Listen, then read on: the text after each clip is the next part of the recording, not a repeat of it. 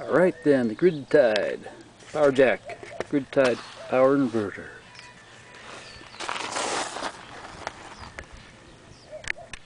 One ten. Sweet. Uh, 14 to 28 volts DC input. They told me I couldn't use a 24 volt uh, battery. I needed a special kind of voltage like solar or wind. But let me get this thing up and going. And just uh, plug this in. Alright. Got this plugged in first. There's no DC on it yet. Can you guys read? Can you see that? Son of a gun. Alright. Amps 2. Must be drawing it. Hmm. Watts 11. Alright.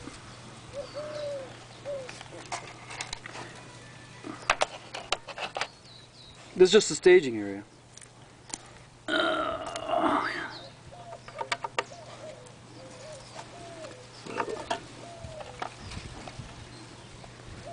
So, this is 4 volts DC. How, where did that come from?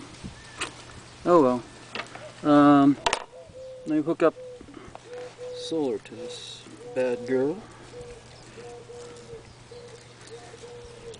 They say everything is running fine. This is the way it's supposed to work. Supposed to be 100 watts. Oh, went to 18. Oops. 18 volts. And now this thing is running at 7 watts. It's like a 120 watt solar panel. Amps is 7. Dang it. Still reading 18. I assumed it should bring it down to 14 using all that, but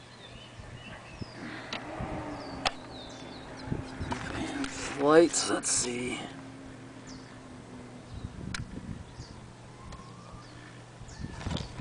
I don't you can tell, but they are moving.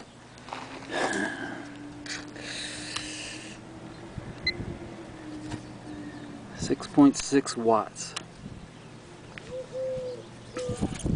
You know, I paid a hundred some odd change for this thing.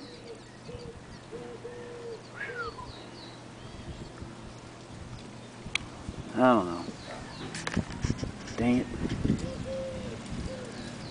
Kept trying to get with the guy to see what's wrong with it, but he keeps giving me, making me jump through hoops.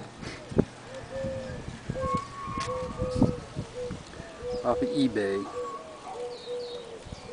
Konnichiwa stuff.